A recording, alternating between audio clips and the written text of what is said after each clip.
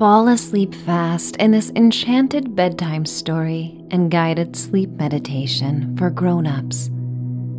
You are listening to Autumn Magic at the Witch's Cottage, a calm sleep story that will bring you back centuries in time. Tucked in the heart of an enchanted forest, you revisit three kind witches who help diminish your earthly problems as you enjoy tiny adventures beneath the full moon.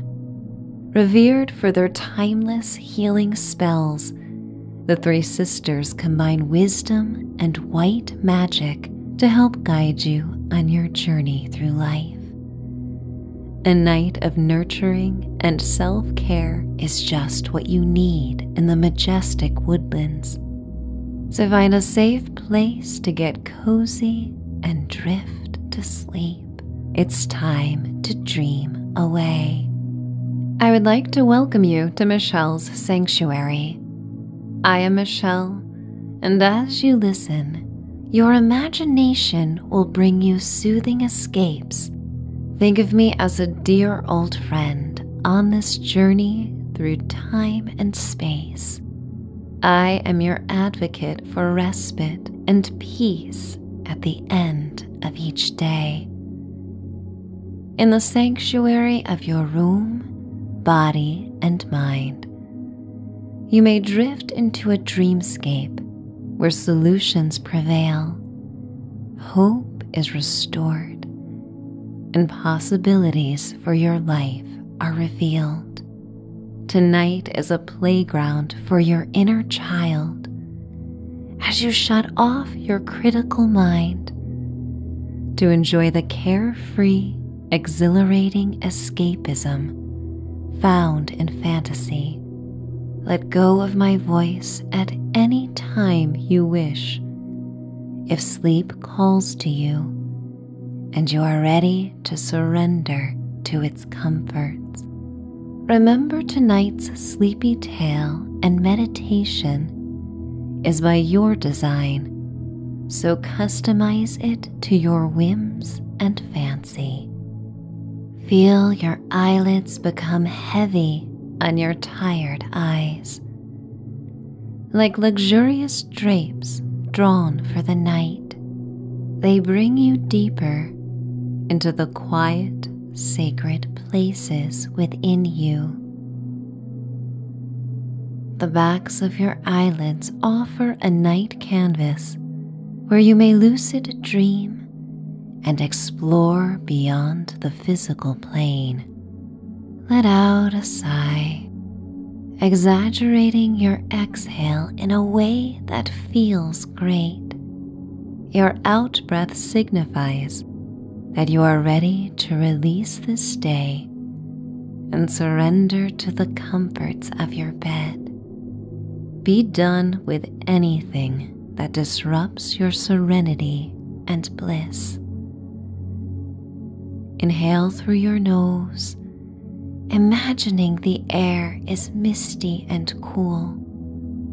Like a salve, it travels through your nostrils and coats your throat with soothing sensations before it inflates your lungs. The air carries notes of cedarwood, sage, and cloves. Open your mouth and yawn. The yawn casts a spell on your nervous system, signaling to your brain waves to slow down. Exhale and sigh, sinking deeper into your bed. You feel so heavy that you could sink through the mattress into another world. Enjoy this pattern of breath as it induces deep peace and relaxation. A wave of light slithers over you like a fog, cloaking you in a hue that makes you the most content. As you inhale, yawn, and sigh, your breath returns to normal. You notice how much more relaxed you feel now than when we first began. Take note of the magic within you. You may transform your mood and state of being with a gentle shift of intention and actions. This power is your birthright. Use it for your best interests. It's time for the story to begin. Laurie Cabot, the first witch of Salem, once said, The witch knows nothing in this world is supernatural. It is all natural. So many things happen in a singular moment, but often the human mind only perceives a few, if anything at all. When we're lost in our thoughts, it's easy to be swept away from the evocative experiences in the delicious present moment. The witches believe there is only one place anyone should consider getting lost in the splendor of the here and now. Now is the only time you can fully feel the aliveness in your body and be aware of the constant flow of energy. Carla, the senior witch, always remarks that just because you cannot see something does not mean it isn't there. She always invites you to feel and to feel deeply. Your mind drifts to what it was like as a child when you long to get back to a place or a dream without exactly knowing how. And as a child, your imagination would conjure all the portals in the night that could transport you to this dreamy realm. Perhaps the ceiling in the closet or a secret door beneath your bed. Maybe the portal appeared in the wall or beneath a wooden floor beam that creaked more than all the other floorboards. With each visit to the witch's cottage, you often wonder how and where the portal will appear. The feminine souls have become like family. Sometimes you arrive at their cottage by way of a dream. On your first visit, a meditation brought you on a journey across the night sky and an encounter with an enchantress dangling her legs from a crescent moon. Her silver hair rippled like silky ocean waves, led by the lunar pull. Her finger curled in a come hither motion, and you landed in the enchanted forest where the witches reside. But this night feels different. You can feel the three sisters beckoning you to visit. As they know you have been in need of a new experience, the familiar patterns and stresses of your life have become monotonous, and the witches long to reignite the spark within you so you may remember the best and the most playful parts of yourself. A sensation comes over you, slipping and sinking. You feel as if you are falling down, down, down, like Alice once did through a rabbit hole to Wonderland. You glide through different dimensions and swirling vibrant colors of the rainbow. Muted sounds of the enchanted forest become louder as you float across a crisp baby blue sky. Sunlight pours over clusters of changing leaves below like liquid gold. as gravity pulls you to the forest floor.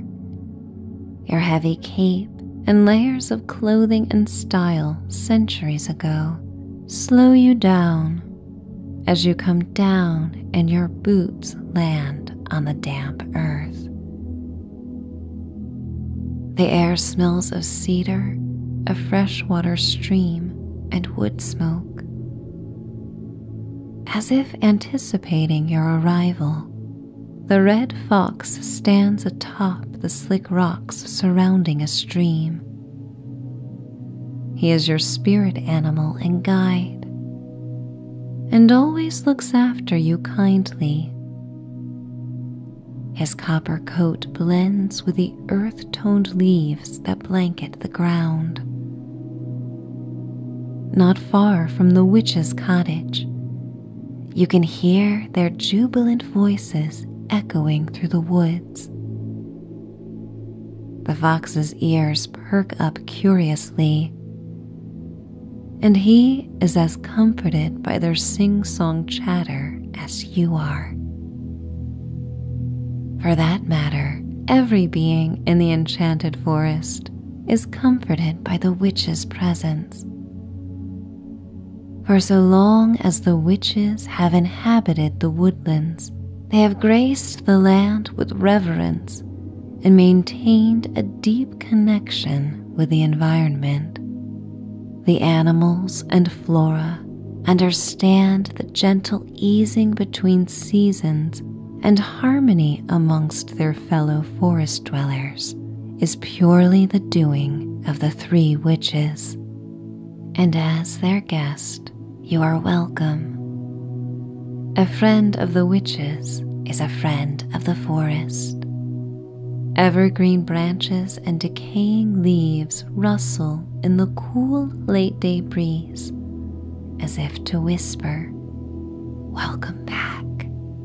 It feels like a homecoming as you follow the fox through the soft mist that rises like a lavender gray veil.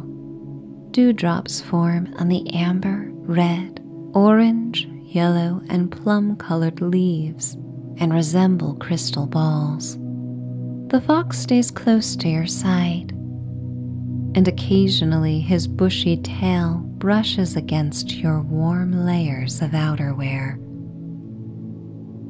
And while the touch is soft, it creates an electric wave of tingling energy that travels up your legs, spine, and scalp in a pleasing way. You walk through the familiar forest as if wafting through a pleasant, recurring dream. Moments like this make you feel like a part of you is always here, connected to the woodlands, untethered from modern demands, and safe in the energetic fortress that these loving witches have fostered with their great intentions and feminine powers. The witch's strength comes from veracity, connection, and authenticity. They balance their individual and collective powers with a sense of humility and reverence for Mother Nature and the expansive universe. They cultivate equanimity with enviable grace. Each time you visit, you embrace your powers and celebrate yourself while remaining awestruck and appreciative of the beauty around you. You feel big and small at the same time. Beyond the fairy dwellings and the white papery bark of birch trees that reflect the honeyed light, you arrive at the witch's cottage. Of course, they sense your arrival long before you show. but their faces reveal the same enthusiasm as if it were a surprise. Whenever you visit this hallowed land, your feet hover above the forest floor before crunching down on fallen leaves. You feel lighter when you come to this place, as if levitating and flying are somehow possible. A pumpkin patch before the cottage overflows with plump orange orbs that grow between twisted, thick green vines close to the earth. These uncarved pumpkins magically glow with inscribed messages that the witches hold dear. The following mantras cast their orange gold glow on the shadows of the forest path. Believe and you will see. Trust your soul. Impossibility is impossible. The answers you seek are meant to be found. The magic will find you. But if it doesn't or takes too long, make your own. The messages on the pumpkins and the rushing sounds of the babbling brook that wraps around the witch's cottage offer the ideal setting for deep repose. The babbling water turns a deep shade of violet this time of year. When the sun slips beyond the horizon and shadows span the forest floor surrounded by ivy like purple leaves, with a stream bed of metallic plum hued rocks. The rich hue awakens your imagination. Outside the juniper wood an ancient stone cottage, the potion in a cauldron bubbles to its cast iron brim. A cloud of steam travels through the crisp air, leaving a penetrating perfume of spicy cloves, cardamom, violet, belladonna, chamomile, and exotic fruity notes in its wake. You open the door to the knotty wood fence that twists around the cottage grounds like black licorice. Cora is the first to greet you. Dressed in her standard emerald green and black brocade dress, with a velvet cape that flows over her dainty shoulders like the midnight sky. When her slender arms hug you close, this kind witch known to heal all feelings, emotional and physical your breath catches in your throat. She softly asks, And how have you been, dear? Her tender embrace makes you realize how much you have longed for a maternal hug like this, and you didn't even know it. Even if at times lately you feel guarded and protect your space, in Cora's presence, you realize how much your nervous system has needed this soothing, nurturing connection. A wave of feeling rises up from your feet and causes your eyes to well as you realize how much Cora truly cares and connects when she asks you this. Cora and her sisters know the world you come from can be quite unkind and has been chaotic and challenging beyond what you foresaw years ago. But Cora knows as well as you that a night at the cottage will be enough to restore you, so you may return feeling vibrant and confident once more. She brushes her slender, warm fingers across your forehead and down your cheek and whispers, As always, you have arrived with divine timing. You'll never know why, but you always believe her. When around the witches, you have an intuitive trust that is unflappable. Every positive experience in the enchanted forest reminds you of your innate prescience and divinity. Learning to embrace your intuition empowers you in your routine life to make choices in the best interest for your body and your soul's journey. The fox remains outside the gate, and Cora smiles at him and says, Come join us after twilight.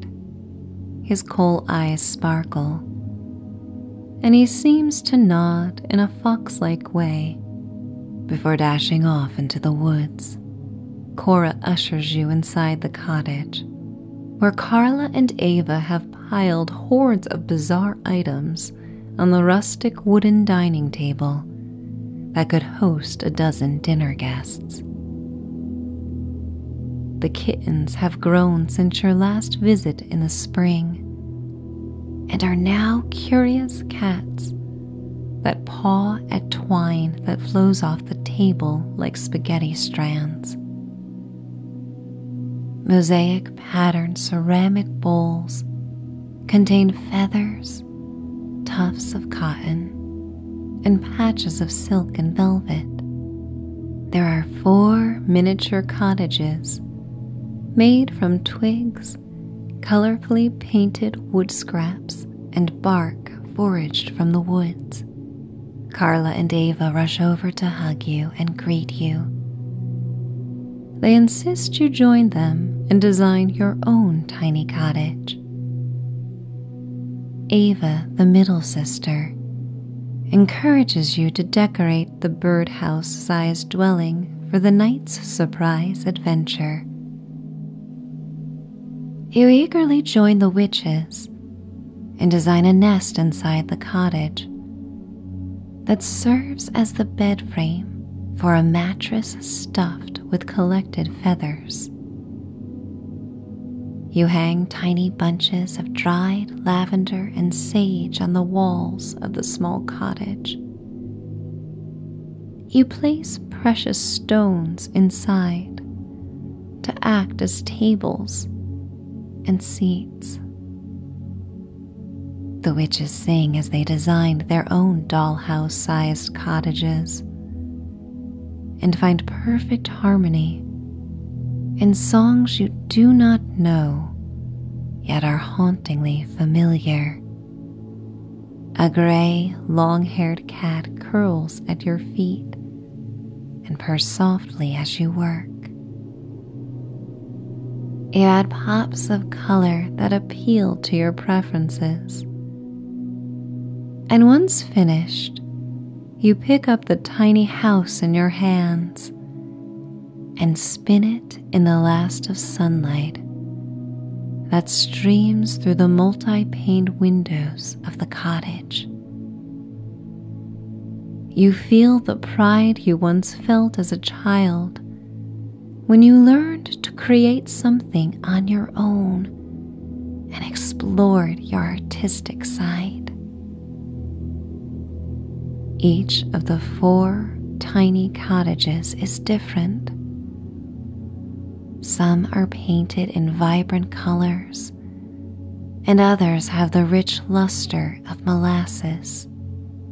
Carla leaves the table and removes a frying pan of biscuits from the oven and wraps them in cotton tea towels in a wicker basket. Cora says everyone must hurry, as the sun is about to set, and the spell must be cast at twilight. The four of you collect your tiny cottages and head outside to where the violet stream joins a pond that is surrounded by trees dressed in autumn's most opulent hues. The fiery red sun casts the dewy grass and fallen rust colored pine needles and metallic orange light. The witches placed an overturned wooden crate at the edge of the pond. A small ladder that is the length of your arm leans against the crate. Plush mint green moss and scarlet rose petals cover the top of the crate. Cora instructs everyone to arrange their tiny home atop the moss. You place your cottage in the center, and the three witches arrange theirs around yours. Ava places four thimbles filled with tiny straw and wood chips in front of each cottage, along with a regular sized match. You're not quite certain what will unfold, but part of you imagines how nice it would be to spend the night in the dollhouse dwellings. Carla looks at you, a glimmer in her eye as she reads your thoughts. My dear, when problems feel too big, sometimes we must remember how small we are in this vast universe. When we become small, our problems do as well. And tonight, we will celebrate the feeling of awe. Ava and Cora come and wrap their arms around you, and you follow Carla, the sage witch, to the cauldron. The red fox stands in the glow of the firelight, a guardian and ally. Carla removes a wooden ladle from the steaming pot Petals and herbs float atop the translucent silvery potion that cools quickly in the autumn air. The sun disappears as Carla explains. This potion will create a dreamscape until the sun rises, and you will awaken at home in your bed when it is all said and done. Are you ready for a tiny adventure, my dears?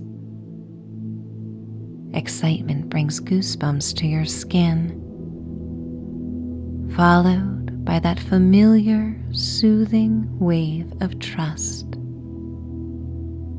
You sip the floral and minty potion, and it flows down your throat, silky and warm.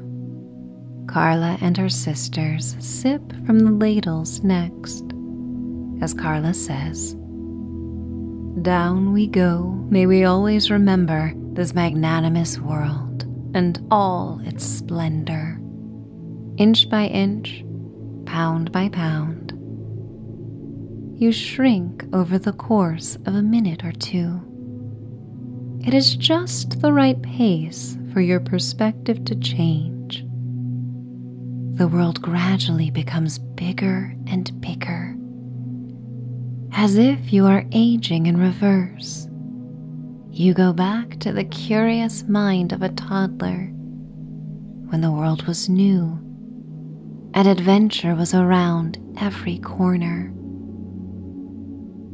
You become smaller than a dragonfly.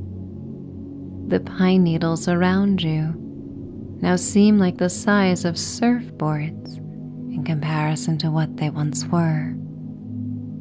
You wiggle your tiny fingers and toes and begin to laugh spontaneously with the witches.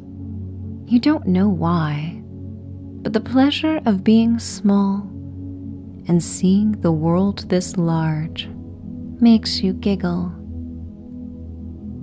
Your cheek muscles softly burn as your chest rises with each laugh and content sigh. Cora is the token leader on this night of exploration, and she brings you and the other two through the pumpkin patch.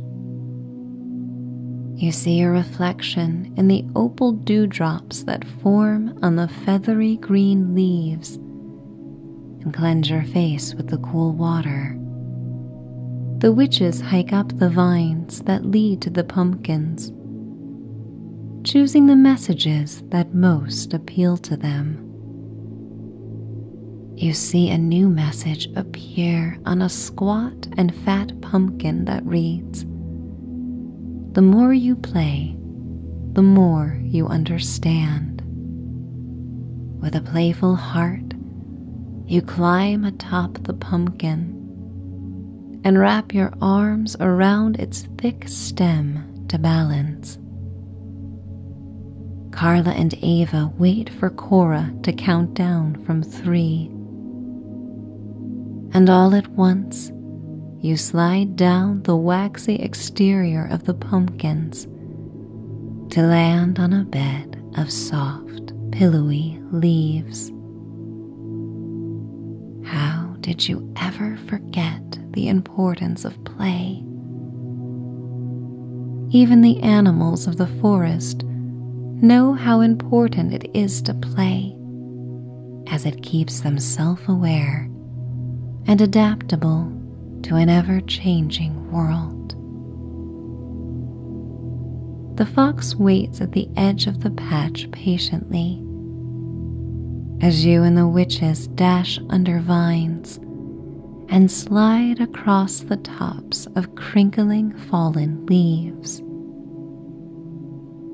You dip beneath the wooden fence. The posts appear as grand as twisted trees. The fox lowers his tail, so you may climb up the fluffy copper and ivory fur to ride on his back. You meet the witches on top, and the fox waits for Cora's command to charge through the night. You settle between his shoulder blades and thread his fur through your fingers to hold on. Cora declares, Ready, and the fox takes off along the stream. His paws patter on the earth, and vibrations travel through his taut muscles. You rise and land on his plush coat that moves on the breeze like fields of wheat and soften every landing. The wind brushes against your skin with a slight nip but the warmth of the fox's fur and body comforts you. The fox travels beneath the light of the moon that rises above the pond, the shade of a cantaloupe.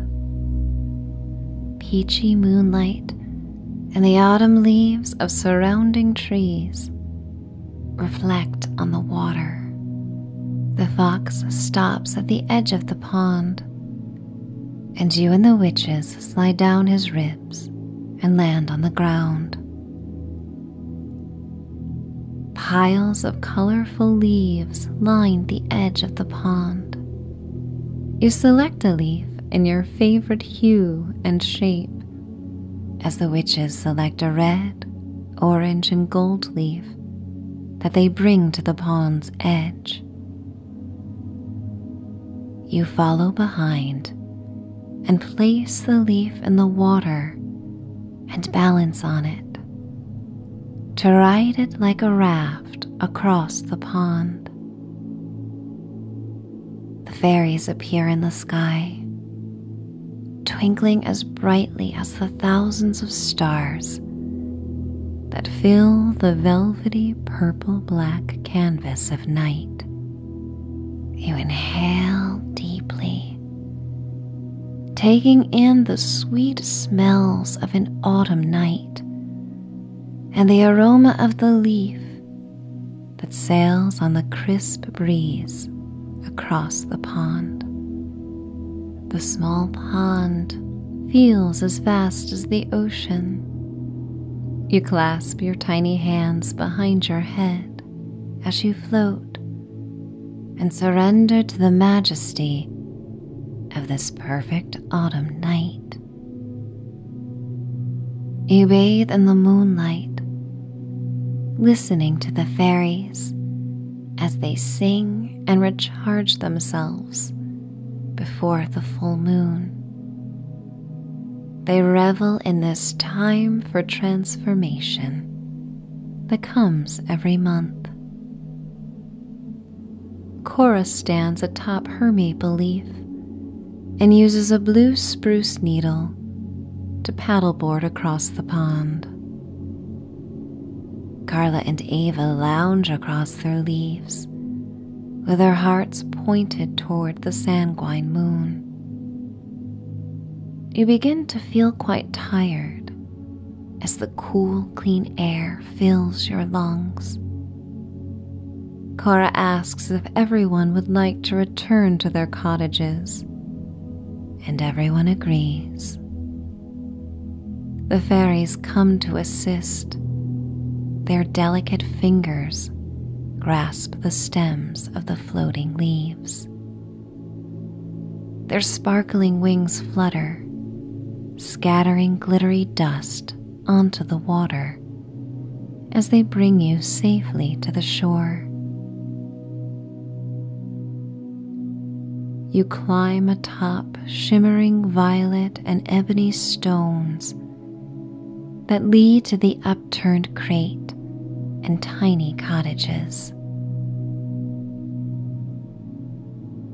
For years to come, you will most remember the sensation of being part of something great, bigger and beyond you, even when you were at your smallest. The way the witches' capes and garments ride on the wind like black emerald, purple, and red velvet waves, the otherworldly sheen of the moonlight on dewdrops and on your skin, the confidence you feel as you climb the once tiny and now seemingly tall ladder to the cottages. You hoist yourself one rung at a time feeling the strength in your arms and your core muscles as you fight off the tiredness to arrive at the top. Carla strikes a match the size of a torch against a thimble and goes from one thimble to the next to start four separate fires outside the miniature homes basking in the warm firelight, you look out on the dreamy landscape. You take in the autumn leaves, saturated in pearly orange moonlight. You stare at the reflective pond, rippling in the fall breeze like a satin sheet. Carla reminds everyone of the biscuits. And Ava and Cora climb into the basket to pull back the tea towel. Steam rises from the baked bread that has remained warm.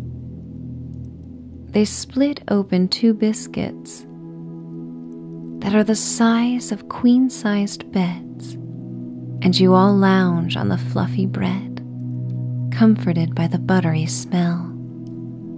You grab a handful of the biscuit's interior and eat it as it melts on your shrunken tongue and warms you from the inside out.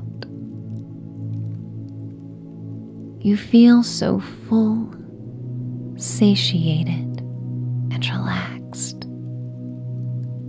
You wish to stay here forever in this magical world of play and fun. Being the size makes everything seem so plentiful and abundant. All your needs are met in the most creative ways. Tiredness takes hold and your eyelids become heavy. The witches wind down as well, and one by one you return to your unique cottages. You step through the open door and remove your cape and hang it on a small tack. You inhale the fragrant dried lavender and sage. As you climb over the twigs and onto the feather mattress. The evening has been rife with silky and downy textures and moments of softness that make slumber come easily. You close your eyes and drift between worlds as a loon cries out her midnight song. The cotton puff pillows contour around your head and neck as you let go of this imaginary world and drift into another land of dreams knowing that each new dreamscape will offer serenity, beauty, and creative worlds that cater to your whims and needs. You drift across the magical bridge to healing respite, finding peace, finding stillness, sleep. It's time to dream away.